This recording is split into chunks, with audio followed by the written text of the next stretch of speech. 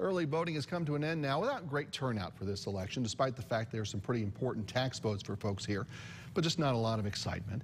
You know, historically, 91% of these constitutional amendments put up for a vote in Texas have gone on to pass. Our Ryan Chandler rejoins us. He went to speak with a local pastor about State Proposition 3, which would prevent city and state governments from restricting religious services, like we saw during the pandemic.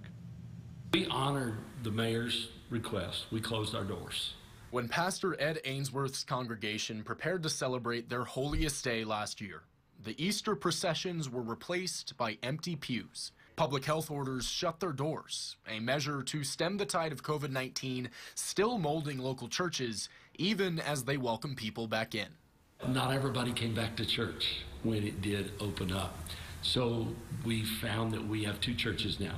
We have an online church and we have an in person church. These are the restrictions that propelled Proposition 3, a state constitutional amendment to prohibit any limitations on religious services on your ballot this election. I personally will vote for Proposition 3 because I believe the doors need to be open in times of crisis.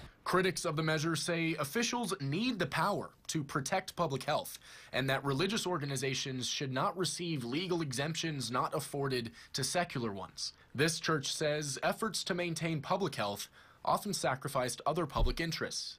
I think it will be better to to be able to stay open because people suffered. Even the people that that we pastor that we know well, many of them suffered when someone died.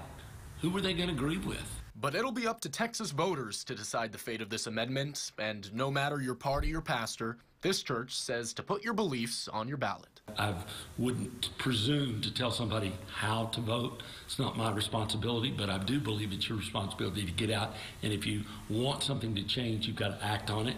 Uh, you can't sit on the sidelines and complain. Ryan Chandler, KAMC News.